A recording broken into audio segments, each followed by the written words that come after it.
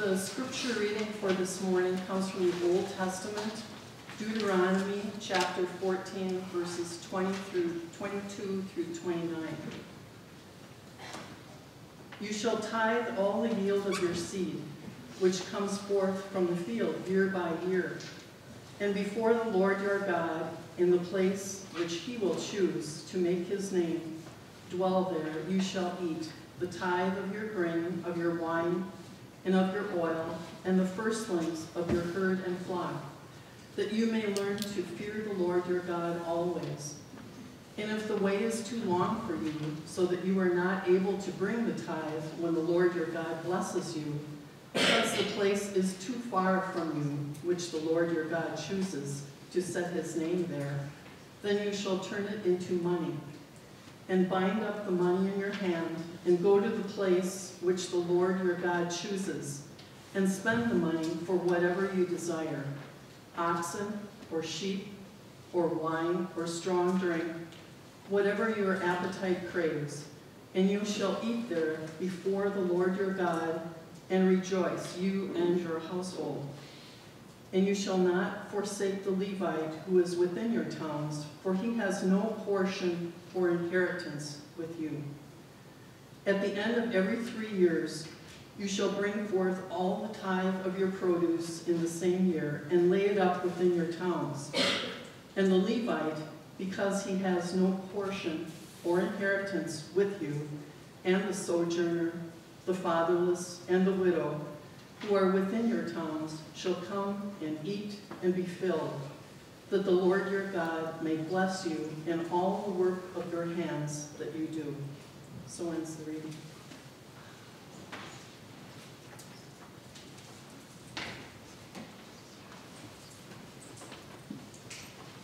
Thank you, Cindy, for sharing our scripture with us today. The tithe. The tithe. Do you know what that is? Would you be surprised as to how many do not? Lots of folks think the tithe is simply what you give to the church, no matter what amount. A dollar, two dollars, a hundred. No matter what proportion of income the amount represents. And that is why, according to the Gallup folks, 17% of church members say they tithe. Unfortunately, lots of those good people are wrong. The word tithe comes from the Old English and simply means one-tenth. A tithe is one-tenth of anything, anything. Horses, pigs, cars, houses, anything. There is nothing churchy about the word tithe. That means that many of the folks who think they are tithing when dropping a buck or two or whatever into the plate from week to week, not knowing what proportion that is to their income, are mistaken. The truth is that not 17% of us tithe, but only about 2 to 3% are actually tithing out of all the Christians in the world. You have seen those bumper stickers over the years. Honk if you love Jesus. There is a better one. If you love Jesus, tithe. Any fool can honk. I like that. Friends, what does faithful Christian discipleship entail? Sometimes we're not sure, are we? The news is full of questions which we wrestle with. Is it right to wage a preemptive war in places where terrorists hide when the rest of the world says no. How about partial birth abortion? Right or wrong? What about the United Methodist stance on homosexuality? Right or wrong? What about? What about? What about? What about? And on and on and on we could go. Sincere, godly people like you and I come down on both sides of the issues. Good Christian people on both sides. Being faithful these days is not nearly as black and white as we might like it to be. But one area that is black and white is the tithe. What about the tithe? Yes. The Old Testament commanded it, and the New Testament affirmed it. The tithe, 10% of our income, the first fruits. What about the tithe? Yes. As to how all this started, as I mentioned last Sunday, the first time we run into the concept of a tithe is in Genesis 14, where Abraham, with 318 of his closest friends, does battle to rescue his nephew Lot, who had been captured and carried off by a neighboring king. To make a long story short, Abe wins. He rescues Lot and recaptures all his worldly goods, plus the other booty taken from the town. On the way back from the battle, a mysterious figure named Melchizedek, called priest of the Most High God, met Abraham and blessed him. Then the text says, and Abraham gave him a tenth of everything.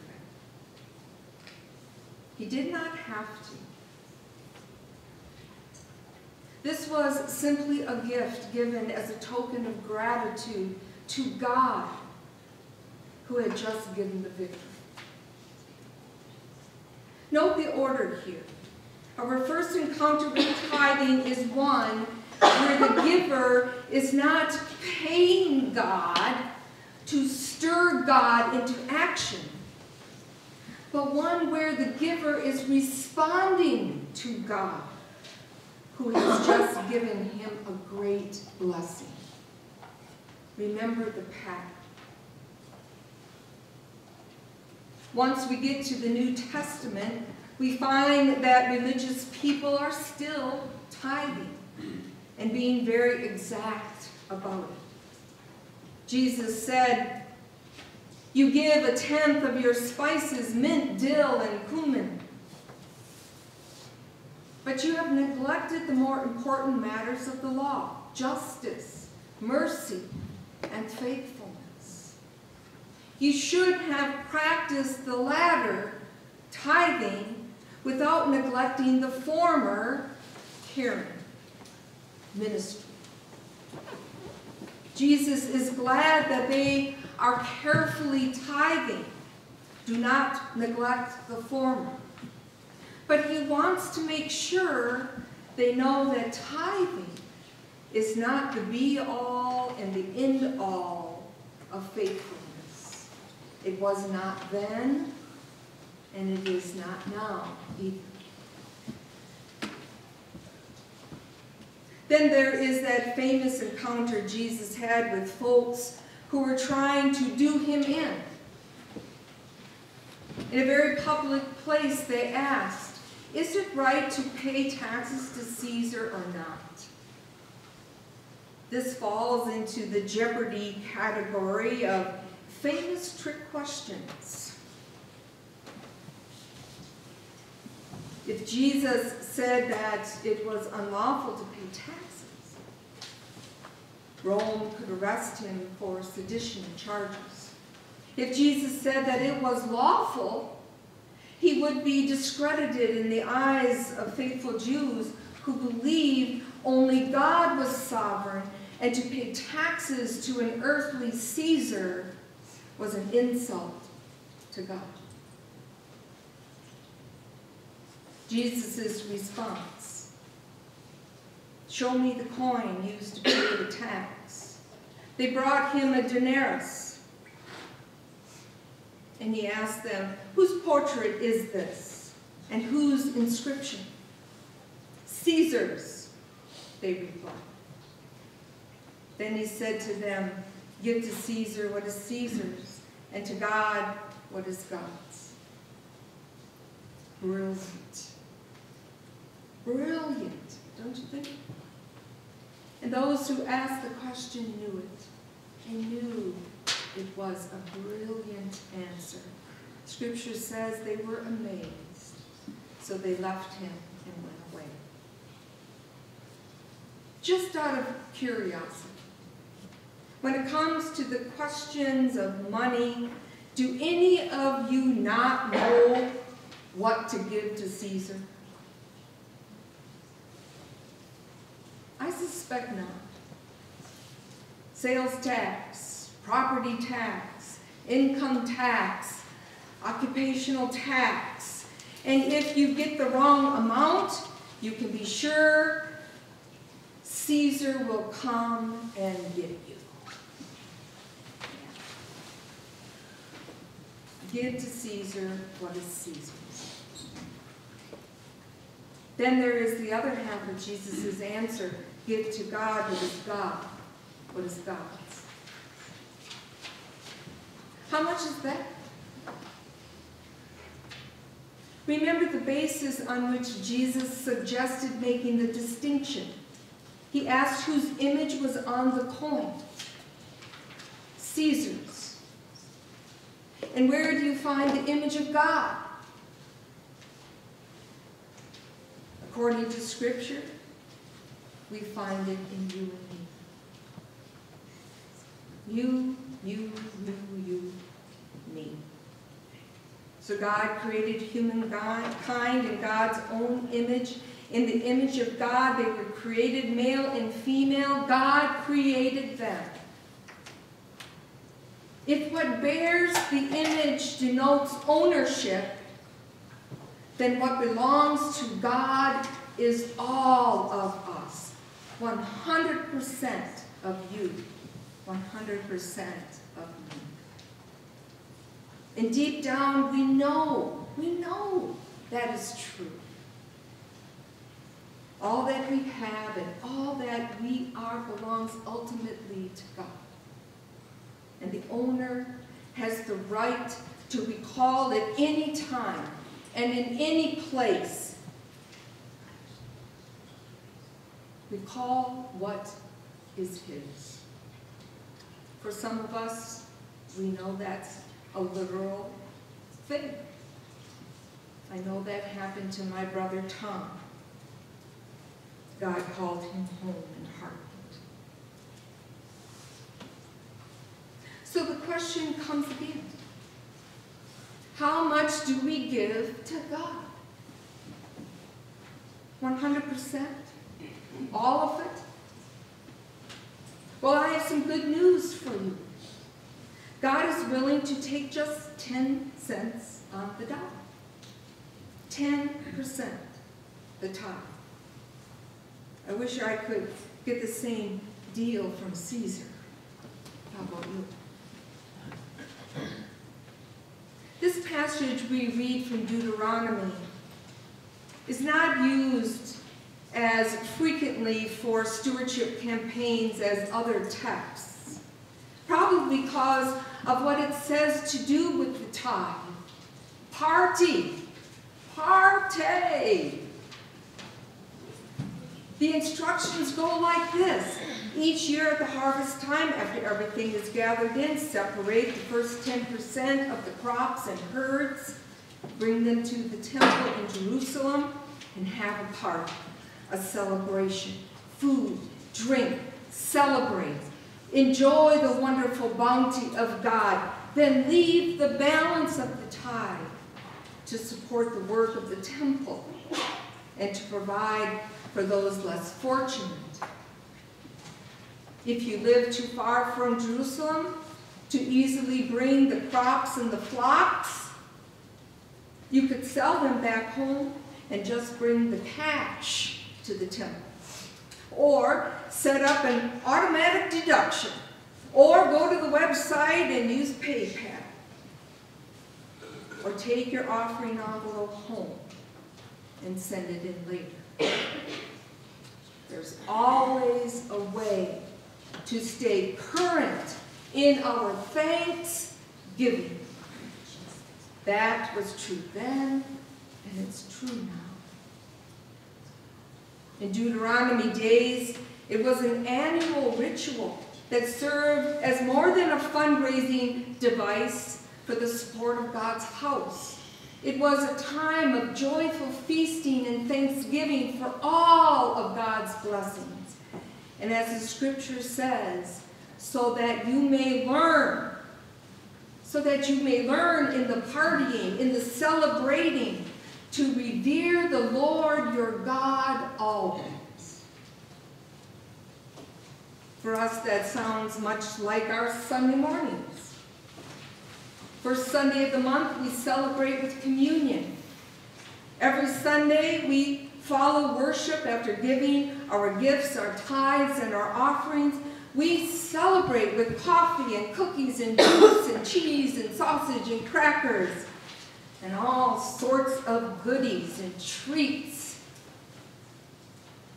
In Deuteronomy days, they did this once a year. Today, we do it every Sunday. Note a couple of things.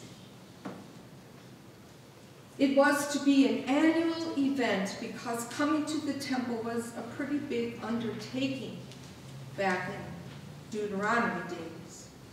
Besides, there was a rhythm to life back then.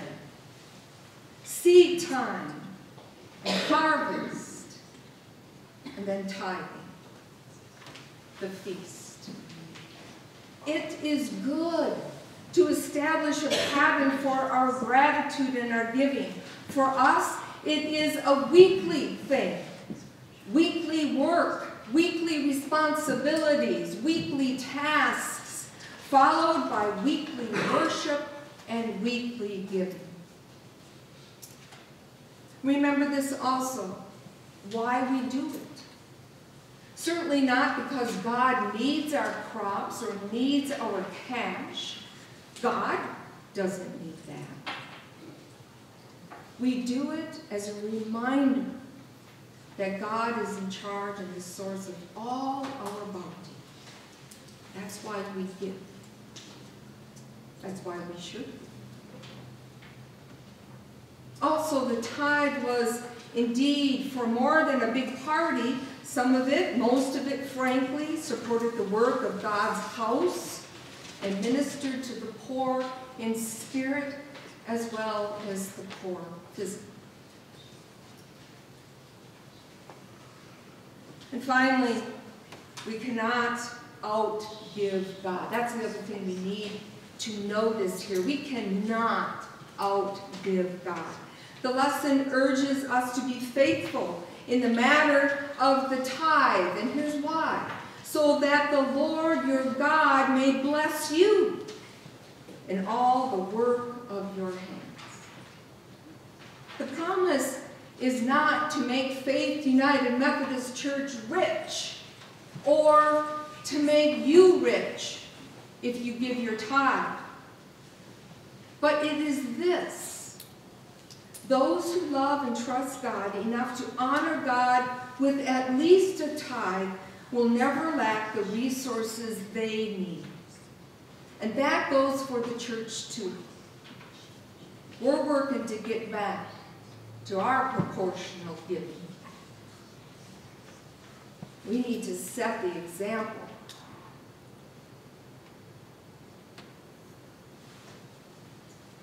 So that we too may feel God's blessing upon us. Tithing should not be looked upon as a religious version of extortion. Are you thinking that? Please don't. Especially not if we get back to the way it was originally meant to be, a celebration. It can be a beautiful routine, a systematic way for people to come together and give thanks for all they have earned through the grace of God in a given week, month, or year, and support the good work of God's house and care for the poor.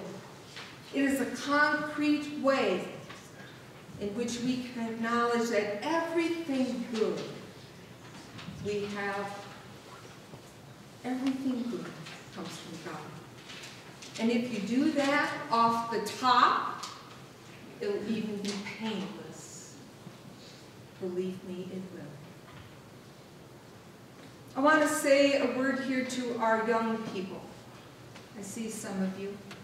I'm speaking directly to you, Caleb, Lucas, Julie. A few of my confirmation students in the back, Donovan. As I told you before, I believe in tithing and I practice it as your pastor. I've been doing it since I was a young girl, younger than Julia. My parents tithe, and so I was taught to tithe as well. I admit that my first reaction to tithing out of my weekly allowance was not enthusiastic. But I was taught that the first 10% didn't belong to me anyway. It was God's. So I gave it back.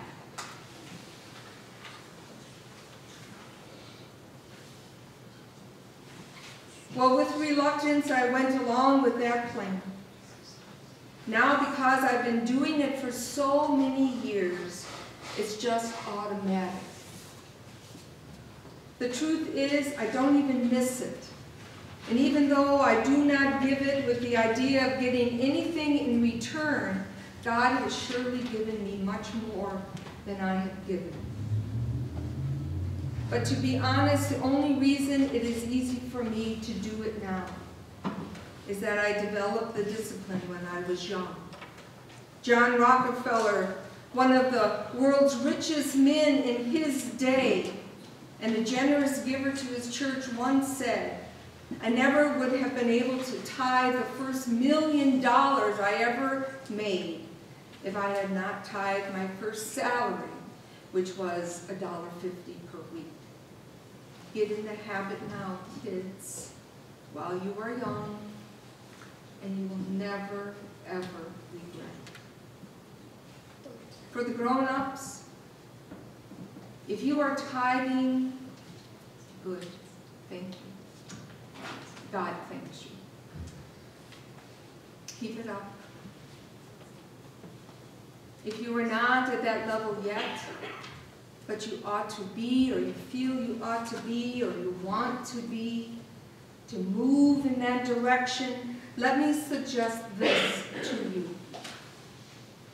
If nothing else, at least during this tithing challenge, take what your annual giving is currently, calculate 1% of your total income, then add the two together, and make that be what you are challenged to give during these three months of our tithing challenge. Granted, until your total reaches 10%, you're still falling short according to Scripture. But at least you are moving in the right direction. How should you allot the resources? In my family, we give the entire tithe to the church. Other charitable contributions are over and above. Those are our gifts. Those are our offerings. The tithe comes here, and I plan to continue that. For some of you, those unfixed incomes, those facing medical debt and the like, you may have to look at temporarily reducing your giving until money is freed up for greater giving. Measure these things out as the Lord leads you. I look forward to the day when we can celebrate in the way ancient Israel celebrated the ingathering of the tithes in Jerusalem. A joyous day of thanksgiving with family and friends for all of God's bounty. Truly, blessed be the tie that binds. Now, before I say amen, we are in a tithing challenge through March, the rest of this month, February, March. Encourage you, if you haven't done so already, to look at the options A, B, and C on that insert. Is there one of them that you can do? I'm not asking this, we're not doing this so that our coffers, our offering plate increases. We are doing this to help in your faith walk with God. That's what this is about. I also want to suggest that you take the financial peace class that's being offered on Thursday evenings. We have a nice group, but we have room for more. And I have two of the kits that if you are interested, I am willing to give to you for free. If the hundred dollars is too much, then I have two for anybody that wants to take it, but the hundred dollars gets in the way, and for everybody that takes it. If you do the majority of the classes, we're going to give you 50 of your dollars back. But I've got two kits. Come see me. If you want to be a part of it, I'd like to give you one of those kits so that you can join the class. Amen. Let's watch the